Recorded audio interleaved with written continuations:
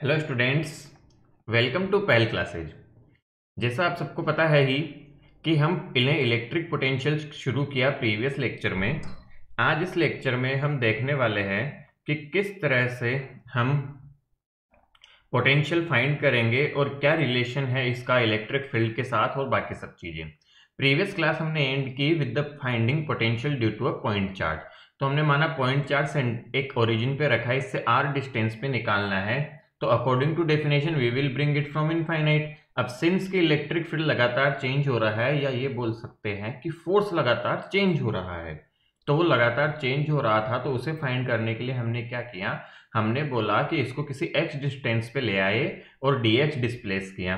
तो इतने डिस्प्लेसमेंट के लिए मैं क्या मान सकता हूँ? फोर्स या इलेक्ट्रिक फ़ील्ड को कांस्टेंट मान सकता हूँ। तो उसी की हेल्प से हमने किया। यहाँ पे जो इंपॉर्टेंट कंसेप्ट था वो था कि डिस्टेंस और फोर्स या इलेक्ट्रिक फ़ील्ड के बीच का एंगल था वो 180 था और dx को हमने नेगेटिव क्यों लिया? मोड dx को। तो वो मैंने आपको एक्सप्लेन किया था कि यदि dx खुद नेगेटिव क्वांटिटी है, dx is itself negative quantity then it will be taken as the negative आ रहा है समझ सबको? तो इस तरह से हमने कह के इसको नेगेटिव लेना पड़ा। और फिर सॉल्व किया हमने, हमारा आंसर आ गया। अब ध्यान दो since potential is a scalar quantity potential at a point due to system of charge will be the sum of potential due to all charge at that point एक क्वेश्चन कर लेते हैं, बहुत सिंपल सवाल होता है वैसे तो पोटेंशियल के बेटा फटाफट से देखेंगे सभी बच्चे। मान लो अगेन एक ट्राइंगल ले लेते हैं, वही अच्छा लगता है। इक्विलेटरल ट्राइंगल मान ले, साइड तीनों साइड एल इसके सेंट्रोइड पे हमें पोटेंशियल निकालना है क्यू क्यू और क्यू तीन चार्ज रखे हुए हैं। और सेंट्रोइड पे हमें क्या निकालना है? पोटेंशियल, ठीक है? वैसे देखा जाए तो सारे पॉइंट सेम ही हो जाते हैं, पोटेंशियल एट सेंटर। अब कोई भी सेंटर और इक्विलेटरल के लिए सेम ही होता है। ध्यान दे कैसे करेंगे? देखो, इस क्यू चार्ज की वजह से, पोटेंशियल की डायरेक्शन होगी इधर, है ना? इस क्यू की वजह से इधर और इस क्यू की वजह से इधर। अच्छा अब आप बोलेंगे, सर, आपने तो ये क्या किया? आपने तो गलत कर दिया। पोटेंशियल की कौन सी डायरेक्शन होती है भाई? पोटेंशियल की कोई डायरेक्शन थोड़ी होती है। ध्यान दे, यदि ये क्लास में जब मैं करवाता हूँ तो बच्चों से पूछते तो हाँ भी करते हैं। मैं बोलता हूँ पोटेंशियल की डायरेक्शन ये बच्चे बोलते यस सर पोटेंशियल डायरेक्शन ये हाँ? बिल्कुल हाँ. अरे भाई पोटेंशियल की कौन सी डायरेक्शन होती है? स्केलर है। तो आंसर तुरंत आ जाएगा, मानो ये डिस्टेंस आर है तो तीनों से क्या आर होगी? अब आपको इक्विलेटरल ट्राइंगल की डिस्टेंस निकालना आनी चाहिए ठीक है? वो मैं आप पे छोड़ रहा हूँ तो आंसर क्या आ जाएगा? सबकी वजह से वैल्यू क्या होगी? के क्यू बाई आर और तीन टाइम्स गुणा कर दो इसे, क्योंकि पोटेंशियल स्केलर क्वांटिटी है, तीनों को ऐड कर दो सिंपली तो ये आंसर हो जाएगा पोटेंशियल का। तो देखो बेटा पोटेंशियल बहुत सारे चार्ज की वजह से निकालना बहुत आसान होता है। हमें कुछ भी नहीं करना होता इंडिविजुअल चार्ज की वजह से वहाँ पोटेंशियल निकाल के सीधा जोड़ दो सबको। सबको क्या कर दो? सीधा ऐड कर दो। हमें हमारा आंसर मिल जाएगा without any issue without any problem बढ़ाते हैं कहानी को आगे। अब ये जो पोर्शन है, ये बहुत ही ज़्यादा इंपॉर्टेंट पोर्शन है potential due to electric dipole देखो बेटा, मैंने पहले भी आपको बताया है कि डाइपोल जहाँ भी वर्ड दिखे this is a very important term dipole से रिलेटेड जो भी कुछ हम पढ़ेंगे, वो बहुत ज़्यादा इंपॉर्टेंट हो जाता है, क्योंकि बहुत ज़्यादा पूछा जाता है। अब पहले देखिए, ये डायग्राम बना हुआ है। मैं एक बार दूसरा डायग्राम बनाता हूँ ताकि आपको ये भी पता चले कि ये डायग्राम बनाया कैसे जाता है। मान लेते हैं कि यहाँ पे एक डाइपोल है minus Q plus Q obviously इसकी डिस्टेंस हम टू ए ले लेते हैं ताकि कैलकुलेशन करना हमें आसान पड़े। यहाँ से सेंटर से एक थीटा एंगल पे आर डिस्टेंस पे कोई पॉइंट है जिसपे हमें पोटेंशियल निकालना है। हमने क्या किया? इससे इसको मिलाया। फिर इसको बोल दिया हमने लेटर से आर टू बोल दिया और यहाँ से इसको मिलाते हुए एक वेक्टर लिया जिसे हमने बोल दिया आर वन। अब ध्यान दे बच्चों तो क्या होगा कि हमें एक्चुअल में आर टू आर वन निकालना पड़ेगा। तो हमें तो आर पता है बट निकालना क्या होगा? आर टू और आर वन। तो हमने क्या किया कि यहाँ से एक परपेंडिकुलर ड्रॉ किया इस पर इस तरह से। सिमिलरली हमने क्या किया कि इस लाइन को आगे बढ़ाते हुए यहाँ से एक परपेंडिकुलर ड्रॉ किया इस पर और इस पॉइंट को ओ बोल दो हमारे। तो ये दोनों परपेंडिकुलर दोनों साइड ड्रॉ किए। इसको नाम दे सकते हैं, कुछ भी हम जो चाहे डी सी जो भी नाम देना चाहे सी नाम दे दिया डी नाम दे दिया। तो इस तरह से परपेंडिकुलर ड्रॉ किए। अब देखो यहाँ से क्या होगा, ये साइड ए है, ये वाला पार्ट और ये एंगल थीटा था, ये साइड ए है, ये थीटा था तो ये डिस्टेंस हो जाती है ए कोस थीटा बस यही हमें काम में लेना है।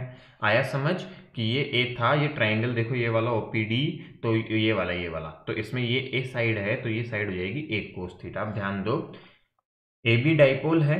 We need to find V at a point P Q P due to this electric dipole A B from figure O D बराबर ओ सी तो बेटा ओ डी और ओ सी दोनों क्या हो जाएगी?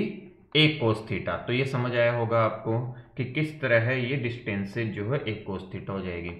Since A is very very less than R one and R two ये तो हमें ध्यान रखना ही है। अब देखो ओपी को क्या लिख सकता हूँ? ध्यान से देखोगे सभी बच्चे, ये ओपी लेंथ ये ओपी है, ये ओपी है। ओपी को मैं लिख सकता हूँ OD plus PD PD plus OB समझो कि पीडी तो था ही ये। पीडी पहले क्या लिख सकता? PD plus sorry P D plus O और ये कौन सा पॉइंट लिया है हमने? डी तो P D plus O D ध्यान से देखेंगे सभी बच्चे हम क्या बोल रहे हैं? P D plus O D इसको करेक्ट करेंगे सभी ओके ना आर क्या हो जाएगी? ध्यान दो। आर है ओपी तो किसके बराबर है? ओपी बराबर है आर के।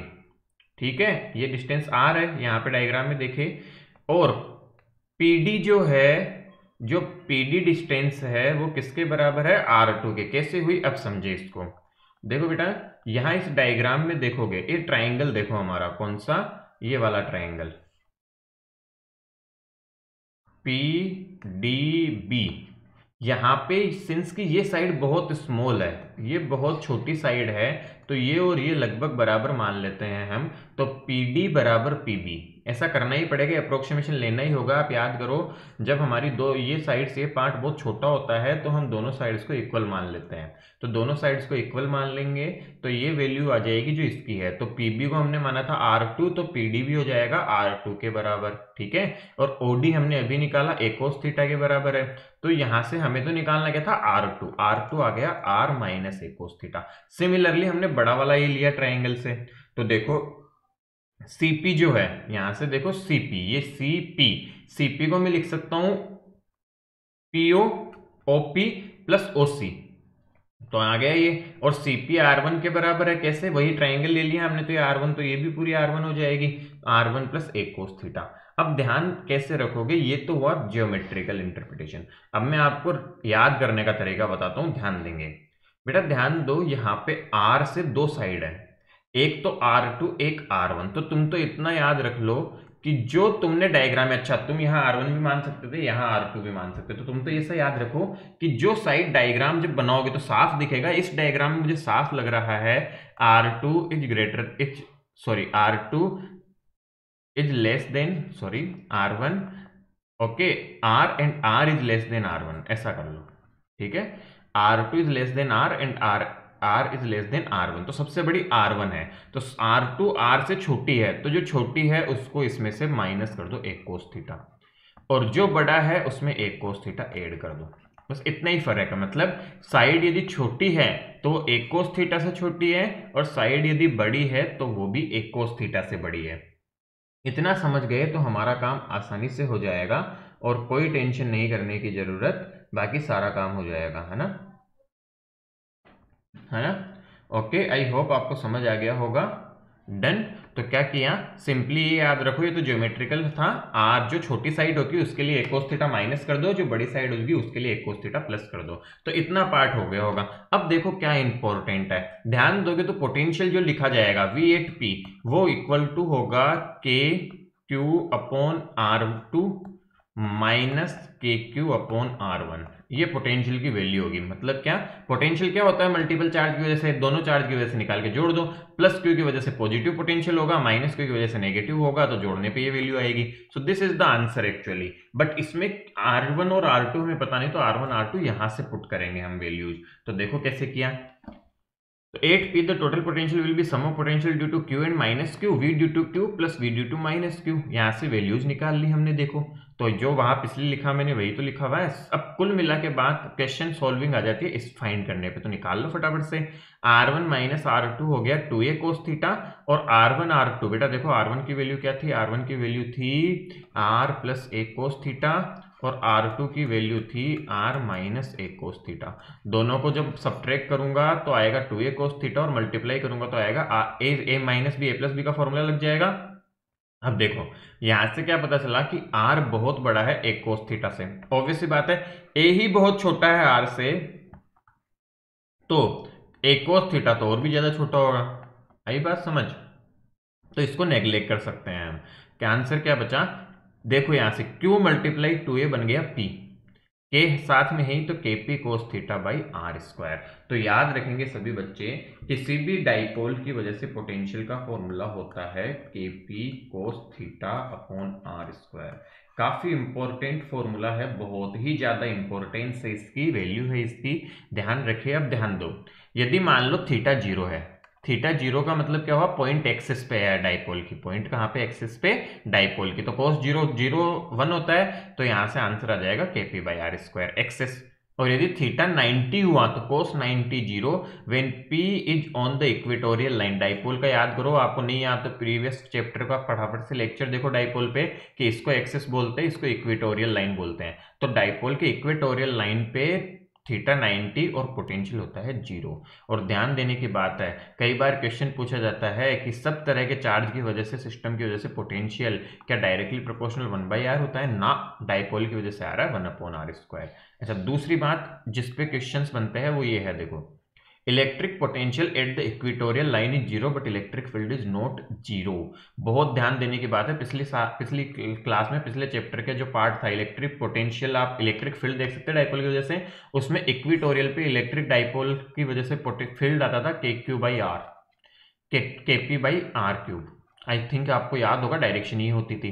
तो जब इलेक्ट्रिक फ़ील्ड यहाँ कहीं भी ज़ीरो नहीं होता था इक्वेटोरियल लाइन पे बट पोटेंशियल ज़ीरो है तो कई बार आपसे असर्शन रीजन पूछ दिया जाता है और अब तो पूछा भी जाएगा ऐसे क्वेश्चन कि if potential is equal to zero electric field must be zero और electric field equal to is non zero then potential must be non zero तो ऐसे क्वेश्चंस आपसे पूछे जा सकते हैं बेटा, बहुत ही है ज़रूरी तो ये डाइपोल का केस याद रखे ये बहुत लफड़े करवाता है।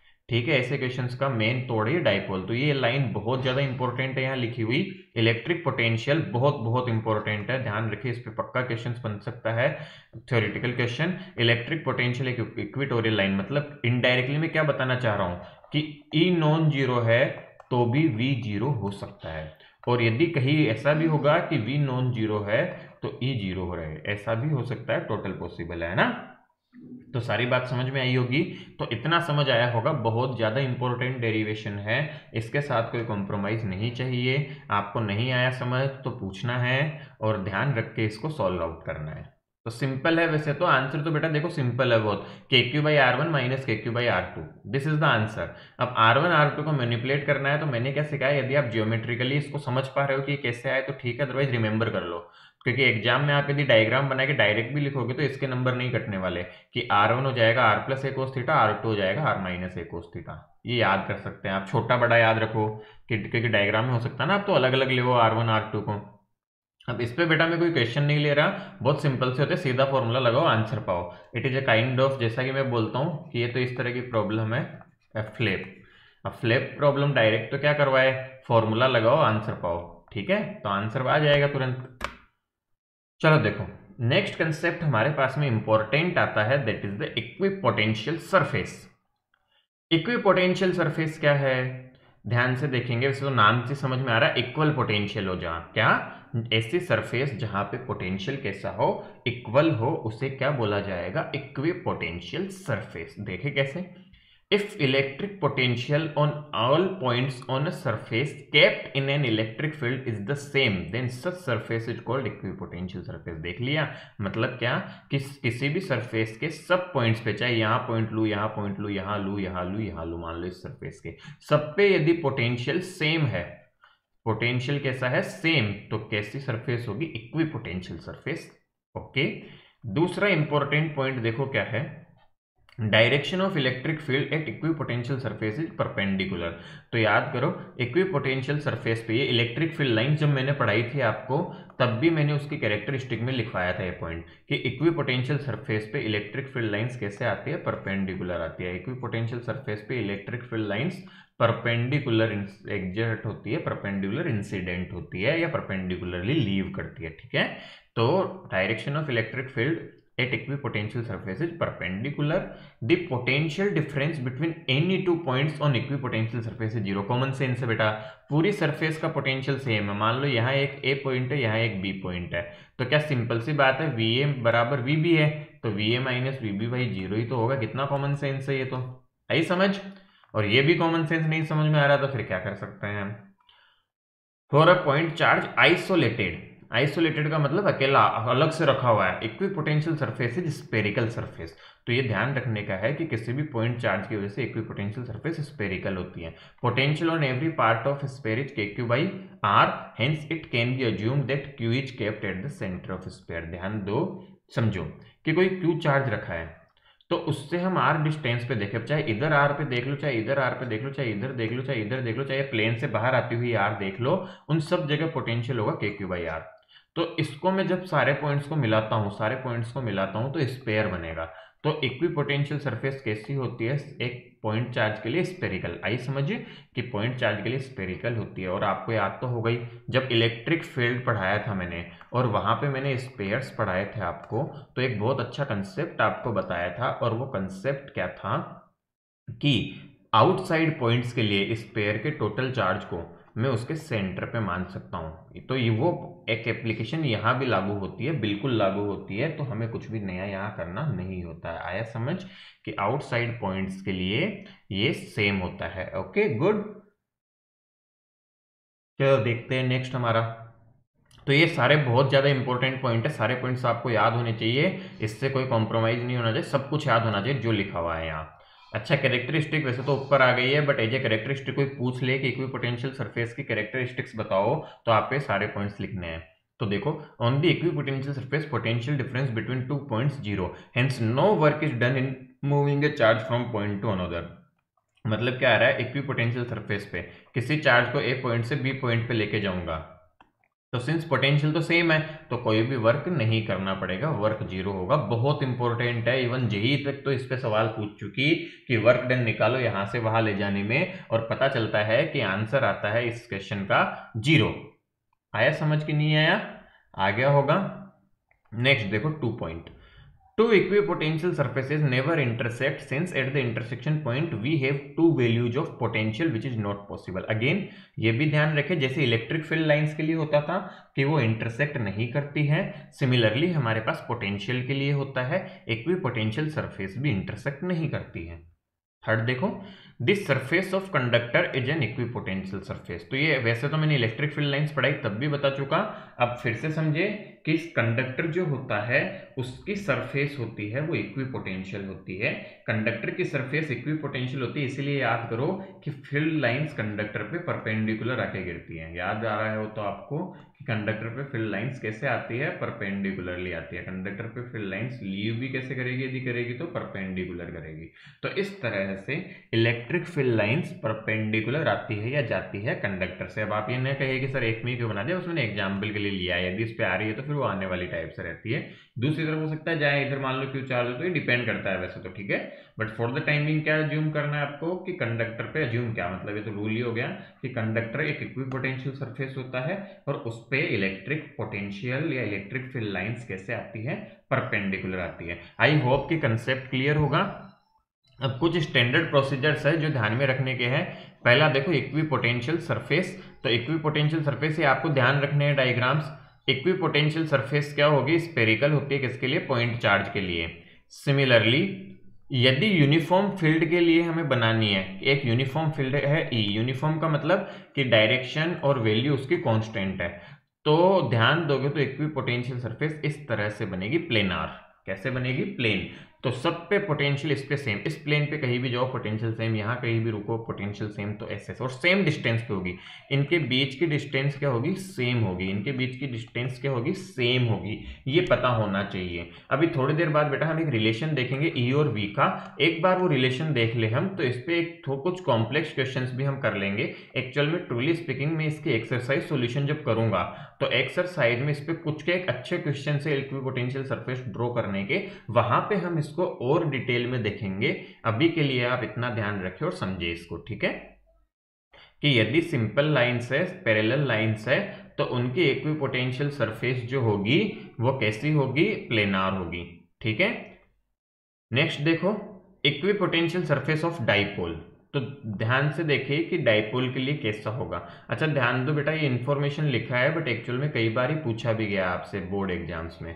और ट्रूली स्पीकिंग हम नॉर्मली देख के ये आंसर नहीं लिख सकते तो आपको ये रिमेंबर करना है। और मैं रिमेंबर वाली चीज़ों को सिंपली बोल दूँगा एम जी एल समझे? एम जी एल का मतलब एम जी एल का मतलब होता है मुझे घोट लो। तो आपको ये कंसेप्ट डायग्राम जो है वो बार बार यही कह रहे हैं एम जी एल मतलब मुझे घोटा मुझे घोटा मारना है इसका, ठीक है? तो देखो, यहाँ पे माइनस चार्ज है, यहाँ प्लस चार्ज है डाइपोल बन रहा है। अब समझने के लिए ये समझ सकते हो क्या कि डाइपोल था ये माइनस ही प्लस तो लाइंस जो थी वो प्लस को छोड़ के से माइनस पे जा रही होगी, ठीक है? तो देखोगे तो एक स्पेरिकल और स्पेरिकल बीच का पार्ट देखोगे तो प्लस माइनस, बीच के पार्ट में पोटेंशियल सेम सा ही होगा। तो इस वजह से यहाँ पे तो लाइन से नहीं, देखो। यहाँ देखोगे तो पोटेंशियल बेटा सिंपली कैसे बनता है? ध्यान दोगे। तो एक्चुअल में इलेक्ट्रिक फ़ील्ड लाइंस की हेल्प से बनता है। यहाँ से फ़ील्ड लाइंस गई होगी गई होगी गई होगी और इस पर जाके ऐसे गई होगी। तो इन फ़ील्ड लाइन्स को जो भी फ़ील्ड लाइंस बनी उनके परपेंडिकुलर पॉइंट्स पे एक सरफेस बना दी हमने तो इक्वी पोटेंशियल सरफेस है। तो ट्रूली स्पीकिंग प्रैक्टिकली ड्रॉ करना इसको फिजिबल नहीं होता है, हम डायरेक्ट देख के नहीं बता सकते तो ध्यान में रखना पड़ेगा। अच्छा दो सेम तरह के चार्ज हो। पॉजिटिव और इक्वल तो इस तरह की पोटेंशियल सरफेस बनती है। तो ये सारी बातें हमें ध्यान में रखनी है बेटा। एक्चुअल में क्या है कि इन पे इलेक्ट्रिक फ़ील्ड लाइंस परपेंडिकुलर होती है, या फ़ील्ड लाइंस पहले बनाओ तो उसके परपेंडिकुलर पॉइंट्स को मिलाते हुए बनाओ। तो दोनों बातें होती है तो दोनों का एग्जैक्ट रिप्रेजेंटेशन हो then we can draw but since board में पूछा गया है और पूछा जा भी सकता है, इसलिए हम इसको क्या कर लेंगे? याद कर लेंगे, इसको रिमेंबर रखेंगे। आया कि नहीं आया, समझ कि इक्वी पोटेंशियल सरफेस या लाइंस की वैल्यू वगैरह को हम क्या कर लेंगे? रिमेंबर रख लेंगे, याद कर लेंगे। ओके कंसेप्ट क्लियर है कि सरफेस इसके लिए सिंपल होगी। सिंपल सरफेस होती है एक यूनिफॉर्म के लिए, इसके लिए स्पेरिकल और ये दोनों केस और याद रख लेंगे हम, जो कि सिंपल है। नेक्स्ट देखो। अब आता है हमारे पास में relation between electric field and potential. मतलब क्या हुआ कि इलेक्ट्रिक फ़ील्ड और पोटेंशियल के बीच में क्या रिलेशन है, ये हमें निकालना है। तो देखो In electric field E, for small displacement dl, we have dv equal to minus e dot dl. बेटा याद करो कि हमने ये फॉर्मूला डिराइव किया था E V equal to E dot D L minus का इन्फिनिटी से आर बट मैं तो था टोटल निकालना हो। बट जब मैं लिखूँ किसी स्मॉल रीजन में चेंज छोटा चेंज लिखूँ तो क्या मैं लिख सकता हूँ minus E dot D L अब मान लो वही इंटीग्रेशन की स्टेप निकालना तो दोनों साइड इंटीग्रेट कर दो भाई। समझे? So, dv can be written as minus e dot dl and that is equal to e dl cos theta. आया, समझ? फॉर्मूला को एक्सपेंड कर दिया हमने डॉट प्रोडक्ट के। देखो तो यहाँ से क्या लिख सकता हूँ बेटा? dv by D L equal to E cos theta now minus DV by D L represents decrement in potential with distance तो D minus DV by D L किसको बताता है? देखो डीएल बताता है लेंथ को डीवी बताता है चेंज इन पोटेंशियल को। और माइनस एड कर दिया तो डिक्रीमेंट को दिखाने के हिसाब से हो गया। तो ये क्या रिप्रेजेंट करता है कि डिक्रीज कितना हो रहा है पोटेंशियल में, सॉरी, डिस्टेंस के साथ में, डिस्टेंस बढ़ाने पे कितना डिक्रीज होगा, ठीक है? आगे देखो, पोटेंशियल ग्रेडियंट, देखिए किस तरह करेंगे। When theta equal to zero then loss loss का मतलब decrement in electric potential is maximum simple सी बात है बेटा कि कोई हमें पूछे कि डिक्रीमेंट की मैक्सिमम वैल्यू क्या है तो हम क्या बोलेंगे भाई? कोस थीटा ज़ीरो हो जाएगा। मतलब ये कोस थीटा मैक्सिमम होगा। ये वैल्यू जब मैक्सिमम होगी, तभी तो ये minus D by D L maximum आएगा। तो ये मैक्सिमम होता है ज़ीरो डिग्री पे, ठीक है? तो क्या बोल रहे हैं? जब थीटा की वैल्यू ज़ीरो डिग्री होगी तो loss in electric potential maximum होगा। It means DV by D L maximum is for theta बराबर zero we can assume this to be a vector quantity ठीक है? हम इसको क्या मानना जाता है? बेटे मैथमेटिकल फिनोमिना है। मैंने कोशिश की एक्सप्लेन करने की। ट्रूली स्पीकिंग तो आपको मैथमेटिकल रिप्रेजेंटेशन याद रखना है। तो ये जो क्या हो रही है, ये क्वांटिटी लेंथ पे से डिपेंड कर रही है, ठीक है? लेंथ के साथ चेंज हो रही है तो इसको हम एज ए वेक्टर क्वांटिटी की तरह ट्रीट करते हैं। और since it also depends on electric field this is called potential gradient and this is represented by grad V आई बात समझ कि हम क्या करते हैं? DV by D L maximum होता है ई थीटा बराबर ज़ीरो के लिए तो इसको हम ग्रेड भी रिप्रेजेंट करते हैं और डीवी बाई डी एल को हम ग्रेड भी लिखते हैं। Grad is notated by gradient ठीक है? तो फ़ंक्शन होता है ये ग्रेड ग्रेडियंट है जो फ़ंक्शन की तरह वर्क करता है, क्या होता है? धीरे धीरे समझ आएगा। बट ये ध्यान रखो कि इसको ऐसे रिप्रेजेंट किया जाता है। Hence since DV by D L को हम लिख रहे हैं grad V so I can write E equal to minus grad V तो ये काफ़ी इंपॉर्टेंट है कि इलेक्ट्रिक फ़ील्ड को मैं लिख सकता हूँ minus time gradient of V ठीक है? और माइनस टाइम ग्रेडियंट वी क्या होता है? Gradient V is nothing but truly speaking this is D V by D L ऐसा समझो, ऐसा कुछ है ये, ठीक है? तो ई e को लिख सकते हैं हम ये। आगे बढ़े। देखो अब ध्यान दो कि यदि हमारे पास क्या होता है कि इलेक्ट्रिक फ़ील्ड तो तीन डायरेक्शनल होता है तो हम लिखते हैं ई एक्स को लिखते हैं minus del V by del X E Y को लिखते हैं minus del V by del Y और ई e जेड को लिखते हैं minus del V by del Z यहाँ ध्यान दें, del V by del X किसे बताता है? Del V by del X is partial differentiation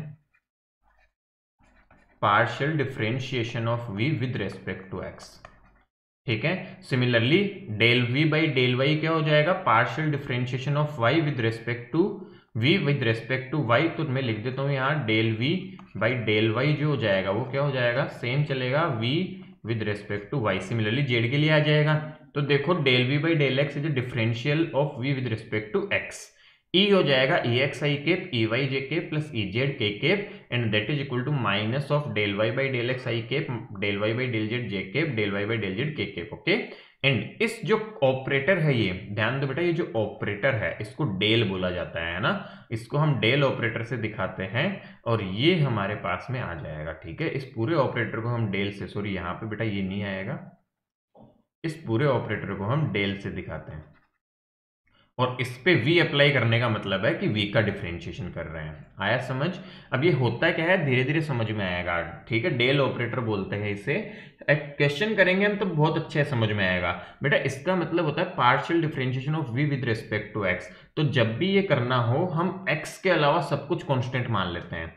जब भी ये करना हो, y के अलावा सब कुछ कांस्टेंट है। जब भी z वाला करना हो, z के अलावा सब कुछ कांस्टेंट है। मैं एक एग्जांपल करके दिखाऊँगा आपको कैसे करते हैं, तब समझ आएगा। और देखो if the potential is a function of the radius of spherical symmetry then E R can be written as minus D V by D R तो ध्यान दो ई e को सिंपली कैसे लिख सकता हूँ? Minus D V by D X minus तो X variable हो गया, r वेरिएबल हो गया लाइक like दैट बाकी यदि सिंपल एक्स वाई जेड का फ़ंक्शन दिया है तो ई E इस तरह से निकाला जाता है। इलेक्ट्रिक फ़ील्ड हम इस तरह से फाइंड करेंगे, ठीक है?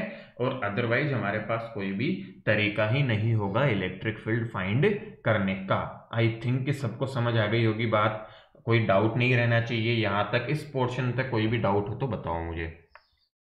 अब हम क्या करेंगे? क्वेश्चन ट्राई करेंगे।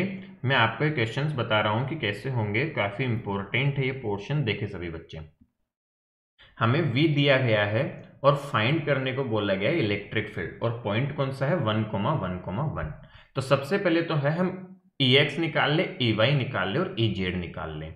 तो बेटा ई एक्स जो होता है, वो होता है minus del V by del X ठीक है तो माइनस को तो बाहर रख लो, अंदर डिफ्रेंशिएट कर लो इसको। अब क्या सिखाया था कि जब भी ये लिखा जाता है, इसका मतलब होता है v का x के रेस्पेक्ट में पार्शियल डिफ्रेंशिएशन और पार्शियल डिफ्रेंशिएशन का मतलब होता है, बेटा, x के अलावा सब कुछ कांस्टेंट है। और कांस्टेंट का डिफ्रेंशिएशन क्या होता है? ज़ीरो तो यहाँ देखो, यहाँ x दिख रहा है तो इसका तो डिफ्रेंशिएशन हो गया कॉन्स्टेंट नहीं है। तो एक्स का डिफ्रेंशिएशन एक्स के रेस्पेक्ट में क्या हो जाएगा? वन तो आंसर है सिक्स आगे बढ़ो। यहाँ पे भी एक्स साथ में है। तो y तो कांस्टेंट है कांस्टेंट कांस्टेंट का कांस्टेंट रहेगा माइनस वाई आगे बढ़ो, यहाँ वाई जेड वाई जेड दोनों कांस्टेंट है तो कांस्टेंट का डिफरेंशियल क्या होता है? ज़ीरो तो ज़ीरो ध्यान दो कैसे कर रहा हूँ मैं, समझे? यहाँ देखो x तो आ गया तो ये सारा कांस्टेंट है। x का डिफरेंशिएशन वन कांस्टेंट वैसा का वैसा आ जाएगा माइनस वाई जेड ठीक है? तो ये आ गया हमारे पास में। सिमिलरली ई वाई बताओ क्या आएगा? ई वाई आ जाएगा minus of del V by del Y अब आप सभी बच्चे पहले इसको करें, क्या आएगा? फिर मैच करेंगे आंसर से पॉज करके करो, निकालो इसे। इसी तरह अब के बार क्या करेंगे? वाई के अलावा सबको कांस्टेंट ले लेंगे। तो यहाँ चला तो एक्स एक्स कांस्टेंट सिक्स भी कांस्टेंट ज़ीरो यहाँ चला वाई बट वाई तो है यहाँ। तो वाई का तो डिफ्रेंशिएशन होगा। एक्स कॉन्स्टेंट ऐसा कैसे? और वाई का डिफ्रेंशिएशन वन माइनस एक्स ध्यान से देखो, यहाँ जाऊँगा तो वाई दिख रहा है तो माइनस जेड और यहाँ भी वाई दिख रहा है तो आंसर आ जाएगा X Z minus X Z similarly E Z निकाल दे फटाफट से बच्चों। तो ई जेड भी हो जाएगा minus del V by del Z sorry तो that is equal to minus of यहाँ अब जेड नहीं है, सब कुछ कांस्टेंट ज़ीरो यहाँ भी जेड नहीं है, सब कुछ कांस्टेंट ज़ीरो आ जाएगा माइनस का ज़ीरो यहाँ देखो जेड है तो माइनस का वाई यहाँ पे भी जेड है तो माइनस का एक्स वाई अब सारी वैल्यूज़ रख दो वन कोमा वन पे पूछा है। तो वैल्यू रख देंगे यहाँ पे। तो वैल्यू रख दूँगा तो आ जाएगा मेरे पास में, ये आ जाएगी वैल्यू सॉल्व होके वन माइनस वन तो टू गया तो माइनस का फोर आ जाएगा। ठीक है? ये आ जाएगा, ध्यान देंगे तो minus one minus one minus one तो माइनस का थ्री आएगा, बाहर से एक माइनस आएगा तो प्लस का थ्री हो जाएगा। And this minus one minus one, minus का टू तो प्लस का टू हो जाएगा, ठीक है? तो ये आया हमारे पास में, इसको सॉल्व करके। तो बताओ ई e क्या हो जाएगा? ई e हो जाता है minus del V by del X I cap E X I cap E Y J cap E Z K cap. तो minus four I cap, plus three J cap, plus two K cap. तो ये हमारा answer हो गया। तो देखो कितना सही आंसर आया। क्या किया? कुछ नहीं बेटा, ध्यान देंगे तो हमें पार्शियल डिफ्रेंशिएशन करना है। क्या करना है? पार्शियल डिफ्रेंशिएशन करना है पार्शियली डिफ्रेंशिएट करना है और उससे हमारे आंसर्स आ जाएँगे। नेक्स्ट देखो for some electric field electric potential is given by V equal to 343 by R volt determine the electric field at a position given तो देखो, अब के बार बेटा हमें एक्स वाई की फॉर्म में नहीं दिया गया, ये स्पेरिकल सिमेट्रिकल टाइप से दिया गया है। हमें पूछा गया इलेक्ट्रिक फ़ील्ड निकालना। तो ध्यान सबसे पहले समझेंगे कि ई e जो होता है, हम कौन सा फॉर्मूला काम में लेंगे? ये वाला, कि ई e जो होगा, वो होगा minus D V by D R तो ई e का पहले तो मैग्नीट्यूड निकाल लेते हैं that will be minus D V by D R तो इसका डिफ्रेंशिएशन करो, क्या आएगा? इसका डिफ्रेंशिएशन आएगा, ध्यान से देखोगे तो आ जाएगा 343 डिवाइड बाई आर स्क्वायर यह आ गया मैग्नीट्यूड मेरे पास, ठीक है? ध्यान दे इसका डिफ्रेंशिएशन किया तो यही आएगा आर माइनस वन जाएगा माइनस वन बाहर आएगा माइनस माइनस प्लस हो जाएगा तो ये आ गया। तो ई e का मैग्नीट्यूड तो इतना हो गया बट हमें तो चाहिए डायरेक्शन और पोजीशन दी हुई है हमें। तो कैसे करेंगे? मुझे ई e की वेक्टर चाहिए तो vector E can be written as ध्यान से देखो magnitude of E multiply by R cap तो फटाफट देखेंगे क्या हो जाएगा। तो magnitude of here 343 forty three by R square और आर केप हो जाएगा vector R divide by mod R. ठीक है? तो देखो क्या बन गया? ई वेक्टर ई वेक्टर फटाफट बन गया 343 forty three divide by R का cube multiply by R vector. अच्छा आर वेक्टर ही हो गया, इसका मैग्नीट्यूड निकालो तो मैग्नीट्यूड आर को ऐसे भी लिख सकता हूँ या ऐसे लिख सकता हूँ? That is equal to this इसका मैग्नीट्यूड आ जाएगा nine plus four nine plus four plus thirty six था, इसका स्क्वायर रूट तो ध्यान दो forty forty nine seven seven आ गया ये, ठीक है? तो सेवन आ गया तो देखो फटाफट वैल्यूज़ रख दो three forty three by seven का क्यूब तो seven multiply by seven multiply by seven and multiply by R that is three I K plus two जे के माइनस सिक्स के के ध्यान दोगे तो यहाँ पे समझ में आएगा एक्चुअल में सेवन का क्यूब भी थ्री फोर्टी थ्री होता है, ठीक है? तो सेवन का क्यूब थ्री फोर्टी थ्री होता है, आप चाहे करके देख लीजिए इसको। सेवन से डिवाइड कर दीजिए। Twenty eight six seven nine जा, और साफ़ दिख रहा होगा कि फोर्टी नाइन से फोर्टी नाइन गया तो आंसर आ गया हमारा ये। आई होप क्लियर हुआ होगा कैसे किया मैंने। टफ नहीं है, एक बार दोबारा ट्राई करेंगे तो अच्छे से समझ आ जाएगा हमें ओके अब एक और मैं आपसे कंसेप्ट डिस्कस करना चाहता हूँ, थोड़ा एडवांस लेवल का है। एडवांस जेई एडवांस ऐसे क्वेश्चन पूछ सकता है आपसे, कैसे देखो? मान लो एक इनफाइनाइट प्लेट है, ठीक है? इनफाइनाइट शीट या प्लेट है, जिसपे चार्ज डेंसिटी है sigma coulomb per metre square, ठीक है? तो आपको पता होगा बेटा कि इससे, इसके पास के पॉइंट्स पे इलेक्ट्रिक फ़ील्ड जो होता है, इलेक्ट्रिक फ़ील्ड की वैल्यू होती है sigma upon two epsilon naught. यदि आपको नहीं पता है तो याद करें और इसको करने की कोशिश करें। गॉस लॉ में हमने डिराइव किया था तो sigma by two epsilon naught होती है इसके आसपास पॉइंट्स पे इलेक्ट्रिक फ़ील्ड इंटेंसिटी, ठीक है? अब मानो कोई हमसे पूछे, क्या कि कोई हमसे पूछे कि यहाँ किसी पॉइंट को मान लीजिए यहाँ से कोई ए डिस्टेंस पे है एक पॉइंट और एक पॉइंट बी डिस्टेंस पे है। इन दोनों के बीच में पोटेंशियल डिफरेंस बताओ। तो क्या पूछ ले हमसे कि V A minus V B बताओ हमें। ठीक है, ये ए पॉइंट मान लो, ये बी पॉइंट मान लो। तो कैसे करोगे आप? ठीक है, काफ़ी अच्छा है। कैसे करेंगे? सोचो सोचो। तो देखो बेटा, कैसे करेंगे? इलेक्ट्रिक फ़ील्ड कांस्टेंट मानते हैं इसके लिए। हमारे पास ये फॉर्मूला काम में लेंगे ध्यान से देखेंगे तो डीवी जो हो जाएगा, वो हो जाएगा माइनस ई डॉट डी ठीक है? इंटीग्रेशन करना पड़ेगा कि नहीं करना पड़ेगा? बिल्कुल करना पड़ेगा। तो ई की वैल्यू रख दो minus of sigma by two epsilon naught और dx का इंटीग्रेशन कहाँ से कहाँ तक तो होगा? पहले b डिस्टेंस है तो b डिस्टेंस से लेके a डिस्टेंस तक। ठीक है? और ये v हो जाएगा इंटीग्रेशन तो v आ जाएगा, ध्यान देंगे बेटा sigma by two epsilon naught यहाँ ए माइनस बी आएगा बट मैं माइनस को अंदर ले जाऊँगा तो वो हो जाएगा b माइनस ए आया समझ में? तो ये आ जाएगा delta V that is V A minus V B I hope आपको समझ आया होगा तो ये फॉर्मूला आप याद रख सकते हैं कॉम्पिटेटिव एग्ज़ाम्स के लिए, कि एक इन्फाइनाइट शीट से V A minus V B निकल तो क्या आता है? Sigma by two epsilon naught B minus A where B is more than A तो ये ध्यान रख सकते हैं। कैपेसिटेंस वगैरह में भी कई बार काम में आ सकता है ये निकालने के। तो ध्यान रखना है, इस तरह का हमें कोई भी क्वेश्चन करना हो, कोई भी काम करना हो तो okay I hope electric potential relation और ये सारे क्वेश्चन आपको क्लियर हो गए होंगे। बाकी नेक्स्ट क्लास में हम इस पेयर्स के लिए इलेक्ट्रिक पोटेंशियल देखेंगे और हमारी कहानी को आगे बढ़ाएँगे, ठीक है? तो सारा पोर्शन बहुत अच्छे से कवर किया गया है। आपको कोई भी डाउट आप कमेंट सेक्शन में पूछे, मैं ज़रूर रिप्लाई करूँगा और अपने फ्रेंड्स के साथ शेयर करें। वीडियो आपको पसंद आ रहे हैं तो लाइक ज़रूर करें। Thank you